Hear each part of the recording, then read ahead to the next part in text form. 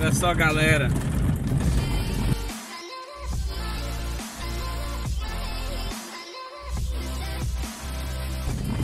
Estamos chegando aqui em um local onde eu acampei uma vez com os desbravadores.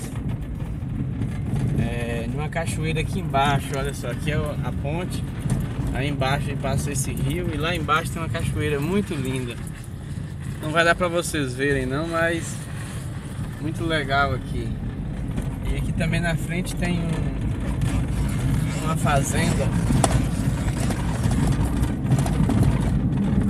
muito bonita.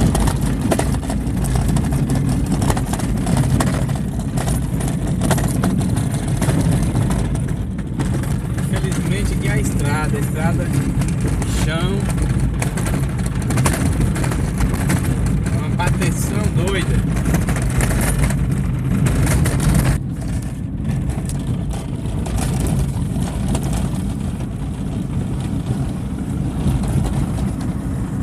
Aí pra vocês verem. Olha que milho lindo também.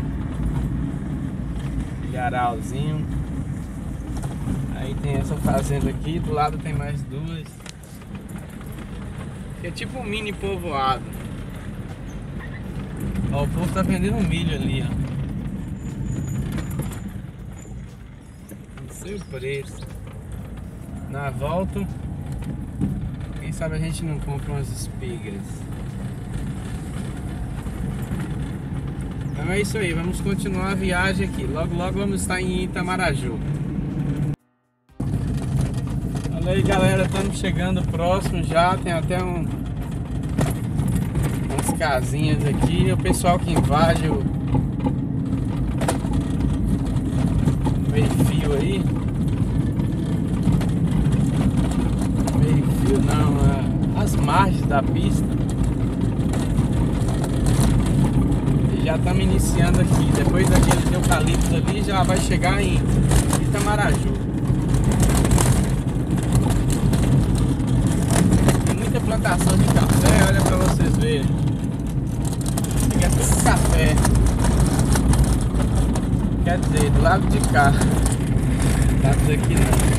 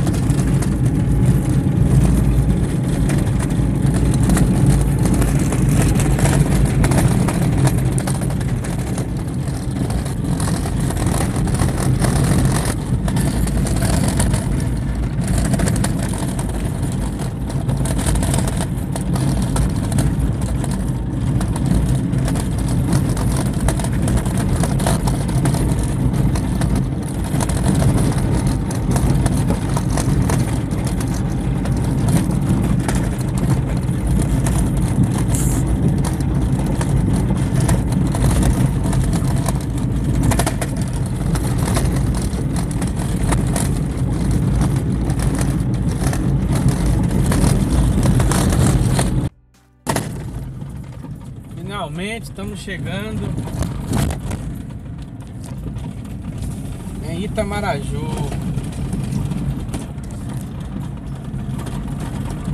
Aqui a gente já chega na periferia.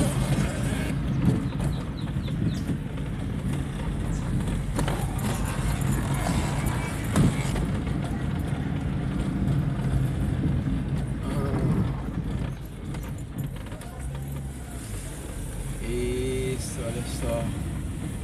Asfalto é vida.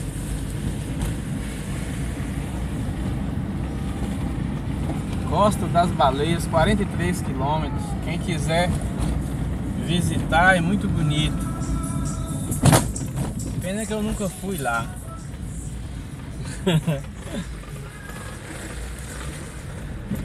Pronto, aqui nós vamos agora. Aqui se a gente pegar a direita, a gente vai para Teixeira de Freitas. Se a gente pegar à esquerda aqui. A gente vai para Prado, Alcobaça e etc. Então,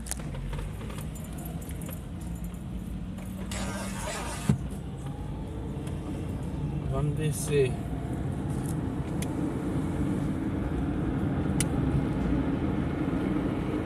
É, tem bastante tempo que eu não passo aqui.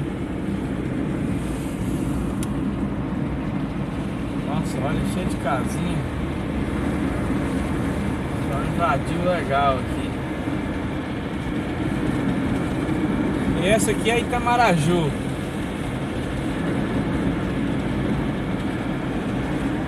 Olha a pedra lá, a pedra é aquela ali, ó.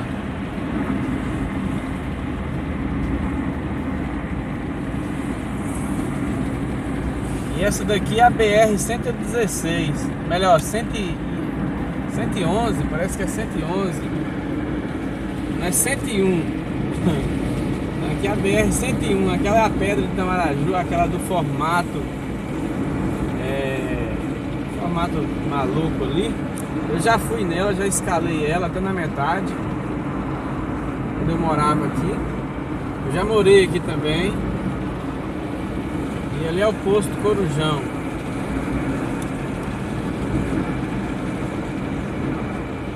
Aqui eu não sei se a gente vai por aqui. Se não subir direto, lá a gente entra, que fica mais perto.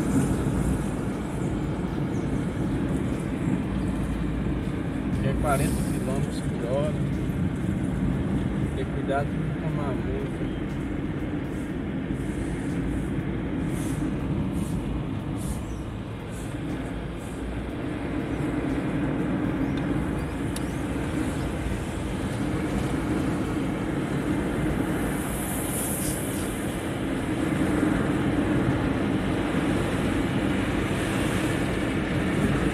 Olha só, Itamaraju é desse lado aí.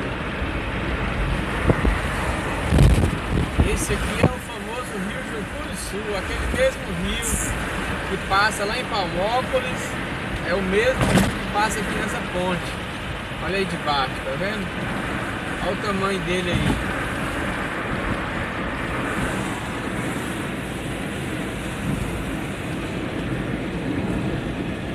Olha só.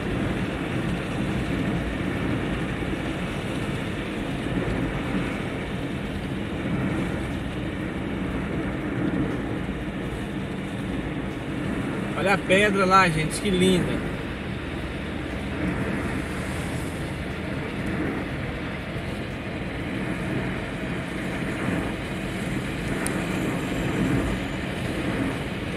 A gasolina aqui parece estar tá 6,32, tá mais barato.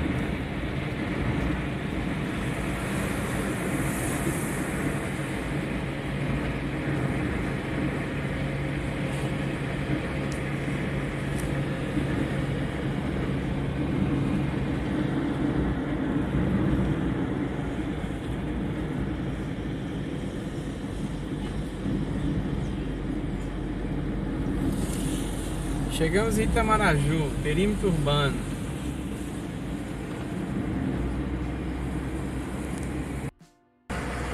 Olha aí galera, dá pra vocês verem? Nós estamos passando por fora aqui pra gente entrar na cidade lá por cima. Tem como entrar por baixo também, mas o trânsito é mais mais concentrado. Então vamos aqui por cima mesmo. Self-serve, R$16,90.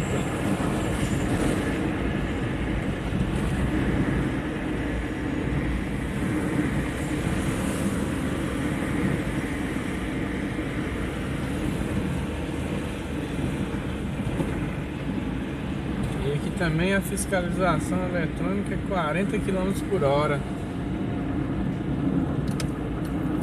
Vamos entrar aqui. E se a gente continuar que vai chegar em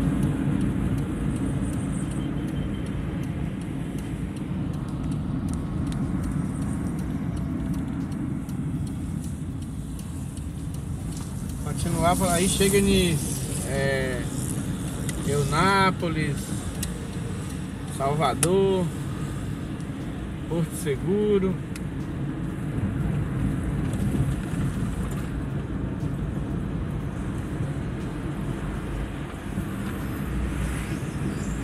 Eu me lembrar como que era aqui, é realmente aqui não mudou muito não. A minha casa na, na próxima rua virando à esquerda, descendo.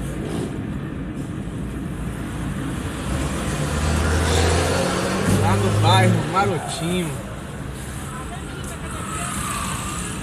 Maroto, Marotinho. Sobe vista.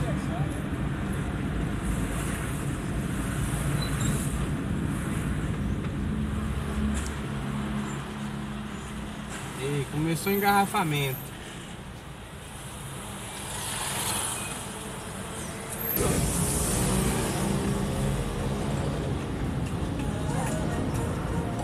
Então é isso aí, galera. Estamos chegando aqui, vamos dar uma passeada aqui e voltamos a falar com vocês.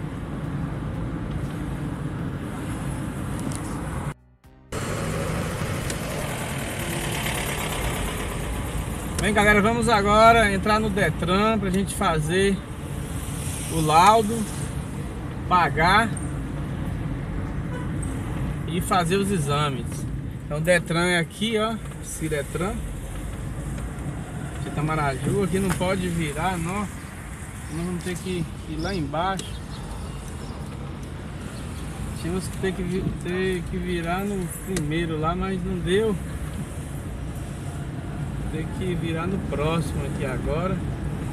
Pra gente achar estacionamento, que aqui ninguém consegue achar não.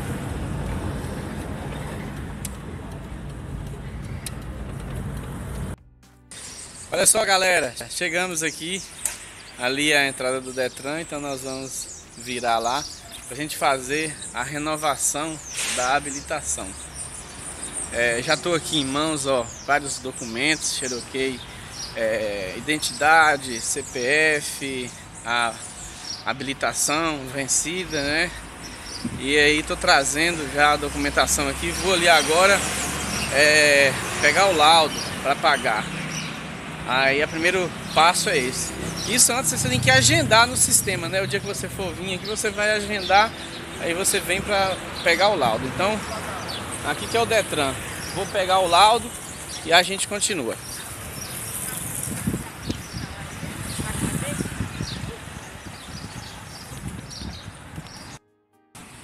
Olha só galera, já vamos lá, pegamos essa guia aqui, tá vendo?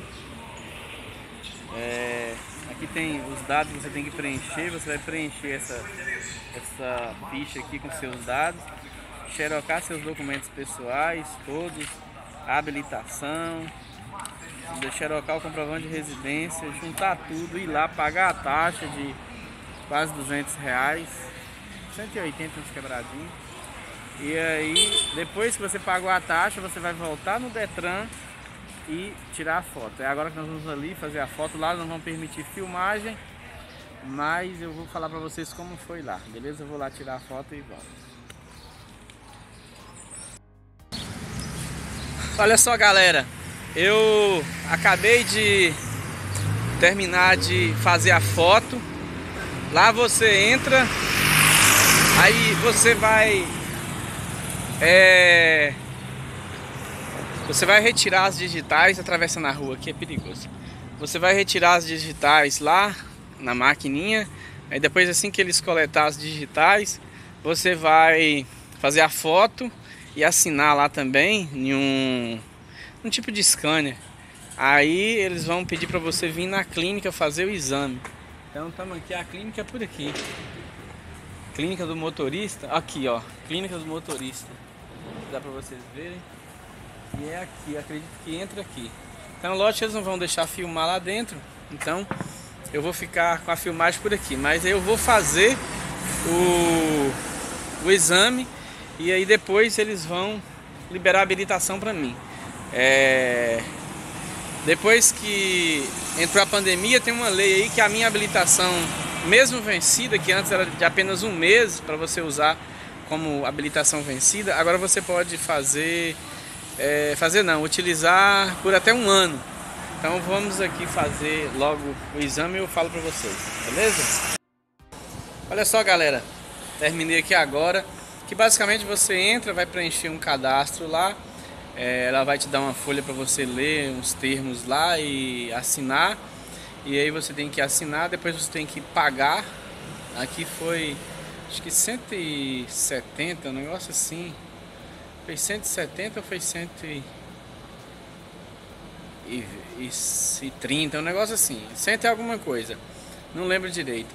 Mas e depois que você fazer, pegar esse, esse, esse papel com ela lá, aí você vai pro médico e lá eles vão primeiro fazer algumas perguntas, se você bebe, se você já sofreu acidente, você tem alguma doença, um monte de perguntas desse tipo. Depois você faz as que eles fazem as perguntas, você responde, aí eles vão fazer o seguinte, coloca você lá em um local, coloca o seu, você coloca o olho em uma máquina, eles vão jogar um, uma luz bem forte, depois fazer é, algumas perguntas como qual a letra está aparecendo, é, quantas luzes tem aqui, é, um monte de perguntas assim para testar sua visão em um olho, depois no outro, depois nos dois. Aí aparecem umas lâmpadazinhas também perguntando quanto, quantas lâmpadas você consegue ver e eles jogam assim uma luz bem forte, você fica meio que atordoado. Você tem que manter bem o raciocínio. Pronto isso, você vai em um lugar lá, eles vão testar sua força, se aperta algumas coisas lá e é, às vezes ele bate na canela, alguma coisa assim do tipo, e aí depois ele assina um documento lá e lança no sistema das clínicas falando se você está apto ou reprovado. Então ele já me falou lá, adiantou para mim que eu estou apto e beleza, agora eu só aguardar a habilitação chegar, com aquele comprovantezinho que a gente fica. Então, é isso aí, o passo a passo.